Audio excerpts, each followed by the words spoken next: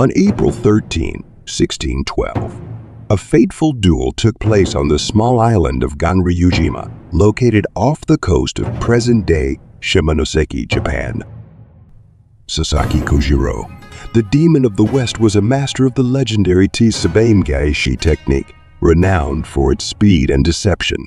His challengers late for the duel, with each passing moment, Kojiro's anticipation grew, his focus honed to a razor's edge as he awaited the arrival of his opponent, his katana gleaming in the sunlight, ready to demonstrate his prowess to all who would bear witness. He exuded confidence, a testament to years of disciplined training and dedication to the art of the sword.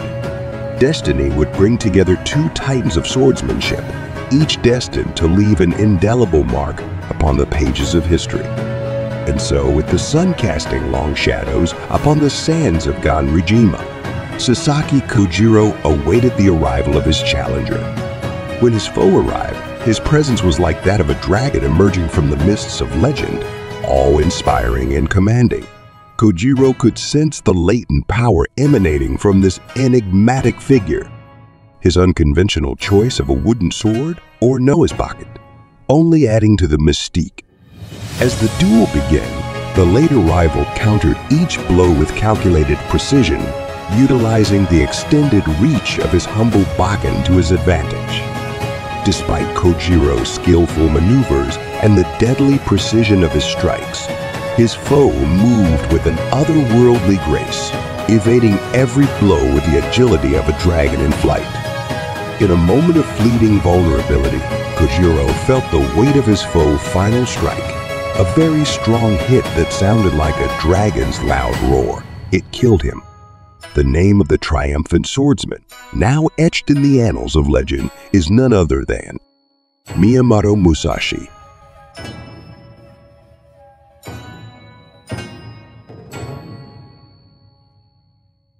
After winning the duel against Sasaki Kojiro on the small island of Ganryujima, Miyamoto Musashi decided to leave the island and continue his journey across Japan. As he departed, a sense of relief and contentment filled his heart, knowing that the small island was named Ganryujima after Sasaki Kojiro. Musashi's reputation as a master swordsman continued to grow, and he found himself welcomed in various communities as he traveled. Along his journey, he encountered individuals from all walks of life, each with their own stories and wisdom to share. One day, while passing through a rural village nestled amidst lush green hills, Musashi stumbled upon a small dojo. Curious, he decided to enter and was greeted warmly by the sensei, a wise old man named Takahashi. Takahashi recognized Musashi's skill and invited him to stay and teach the students at the dojo. Grateful for the hospitality, Musashi accepted the offer and soon became a beloved mentor to the young martial artists. Under Musashi's guidance, the students flourished, not only in their martial arts skills, but also in their character and discipline. Musashi shared his knowledge not only of swordsmanship, but also of strategy, philosophy, and the importance of inner peace. As time passed, the village prospered, and Musashi found a sense of belonging he had not experienced before. He forged deep friendships with the villagers and found solace in the simplicity of rural life. The years went by, and Musashi continued to impart his wisdom to new generations of students. The dojo became renowned throughout the region, attracting aspiring warriors from far and wide. His story is not merely one of battles won and enemies defeated, but a journey shrouded in enigma and enlightenment. It begins in the quiet village of Miyamoto, where a child was born. Miyamoto Musashi was born in 1584 in a village called Miyamoto in the Harima province of Japan. He was originally named Shinmen Takezo. His childhood was difficult because Japan was going through a time of lots of fighting and problems called the Sengoku period. From a young age, Takezo showed remarkable talent and aptitude for martial arts. He was trained in the way of the sword by his father, Shinmen Munisai, who was a skilled swordsman himself. However, Takezo's upbringing was far from conventional. His father was often absent, and his mother passed away when he was just a child, leaving him to fend for himself in a world consumed by chaos. As he grew older, Takezo's restless spirit led him into countless skirmishes and battles, earning him a fearsome reputation as a formidable fighter. He wandered the countryside, honing his skills and seeking out worthy opponents to test his mettle again. But amidst the violence and chaos of the Sengoku period, Takezo also yearned for something more a deeper understanding of the way of the warrior and the true meaning of martial prowess. His journey took him to remote mountains and secluded temples, where he sought the wisdom of wise hermits and martial arts masters. It was during this time that Takezo underwent a profound transformation, both as a swordsman and as a man. He adopted the name Miyamoto Musashi, casting aside his old identity and embracing a new path guided by discipline, humility, and self-discovery. Miyamoto Musashi's journey took an unexpected turn as he found himself under the tutelage of his uncle, a seasoned warrior whose wisdom was as vast as the mountains themselves. Musashi's father, Shinmen Rinzai, recognized the untamed potential within his son and entrusted him to the care of his brother, hoping that under his guidance, Musashi would learn not only the art of the sword, but also the discipline and patience required to master it. Uncle's watchful eye, Musashi's days were filled with grueling training regimens and lessons in the ways of combat. From the break of dawn until the setting sun dipped below the horizon, Musashi honed his skills with single-minded determination pushing himself to the limits of his endurance and beyond. But it was not only the physical aspect of training that Musashi's uncle sought to impart upon his young charge.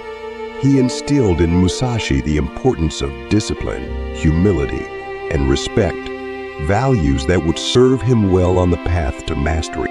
In the quiet forest, there's a story about a young warrior whose name would be remembered forever. Miyamoto Musashi only 13 stood at the edge of his future, feeling excited and eager for adventure. In the year 1596, in a small village called Hirafukumura, there was a young boy named Musashi, who was only 13 years old. One day, a traveler named Arima Kihei came to the village. He was known as a skilled swordsman and wanted to test his abilities by challenging anyone who dared to face him. Musashi, being eager and bold, decided to accept Arima Kihei's challenge. He wrote his name on the challenge board, showing his bravery. When word reached Musashi's uncle, Dorin, who was a monk at a nearby temple, he was shocked. He knew Musashi was still very young and tried to convince Kihei to cancel the duel because of Musashi's age. However, Kihei refused to back down and insisted that Musashi apologize to him to clear his honor. When the time for the duel came, Dorin tried to apologize on Musashi's behalf. But Musashi had other plans. He grabbed a long stick called a quarterstaff and charged at Kihei, shouting challenges.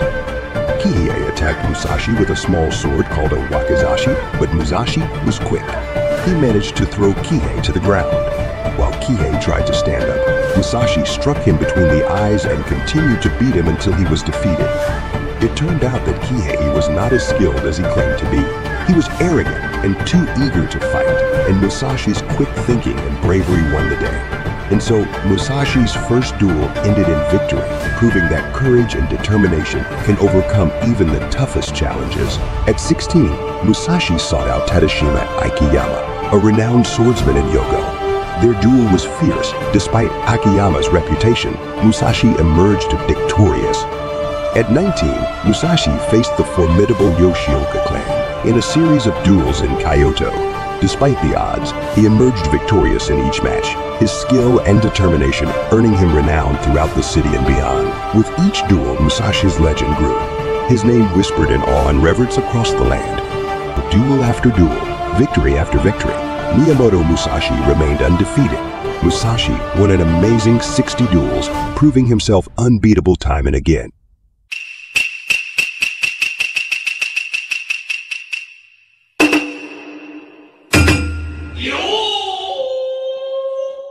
Yamato Musashi was a lone samurai, a solitary figure who wandered the countryside, beholden to no master but his own inner code of honor and discipline. With no lord to serve or clan to call his own, Musashi's path was his and his alone, guided by the principles of Bushido, the way of the warrior. When his later years, Musashi said in his The Book of Five Rings, when I apply the principle of strategy to the ways of different arts and crafts, I no longer have need for a teacher in any domain. Miyamoto Musashi wasn't just good with a sword. He was smart too. He could think ahead and come up with clever plans to win battles. But fighting wasn't his only talent. He also loved art. When he wasn't fighting, he proved this by creating recognized masterpieces of calligraphy and classic ink painting. His paintings are characterized by skilled use of ink washes and an economy of brushstroke. And if that wasn't enough, Musashi was also great at making swords. He knew all about metal and how to shape it into strong, sharp blades. So he wasn't just a warrior. He was an artist and a craftsman too. Miyamoto, Musashi's legacy extended beyond his own accomplishments. He also played a pivotal role in shaping the futures of two young men who would become great in their own right. He adopted two sons, Iori and Mikinosuke, guiding them with the same wisdom and discipline that had defined his own life. Under Musashi's tutelage, Iori and Mikinosuke flourished, their talents blossoming under his watchful eye. They honed their skills in the way of the sword, learning not only the art of combat, but also the values of integrity, perseverance, and compassion. Ten years later, in 1641, Musashi wrote a book called 35 Instructions on Strategy for a man named Hosokawa Tadatoshi, who was a Japanese samurai daimyo of the early Edo period. This book later became the basis for another famous book called The Book of Five Rings. During this time, Musashi's adopted son became the master of arms for the Owari fief. However, in 1642, Musashi began to suffer from neuralgia, which caused him a lot of pain and hinted at future health problems. In 1643, he decided to retire to a cave called Reigando and live as a hermit. It was there that he started writing the Book of Five Rings, which he finished in 1645. As Musashi's health worsened, he sensed that his end was near. So on the 12th of the fifth month, he gave away all his belongings and handed his manuscript of the Book of Five Rings to the younger brother of his closest disciple, Terao Magonojo. Musashi passed away in Reigando Cave around June 13, 1645 at the moment of his death, he had himself raised up. He had his belt tightened and his wakizashi put in it. He seated himself with one knee vertically raised, holding the sword with his left hand and a cane in his right hand. He died in this posture at the age of 62. The principal vassals of Lord Hosokawa and the other officers gathered, and they painstakingly carried out the ceremony then they set up a tomb on Mount Iwato on the order of the Lord. Minamoto Musashi passed away from what is thought to be thoracic cancer. He died peacefully after completing a book called Dokkodo, which means the way of walking alone or the way of self-reliance. This book contained 21 rules about how to discipline yourself and live a good life. It was meant to be a guide for future generations to follow. Miyamoto Musashi's life wasn't just about fighting. It was also about learning and growing. He worked hard to become a master swordsman and taught us valuable lessons about staying strong and focused. When we face tough times, let's remember Musashi's determination and bravery. We should also learn to discipline ourselves and rely on our own strengths, just like Musashi did. His story inspires us to be resilient and true to ourselves no matter what challenges come our way.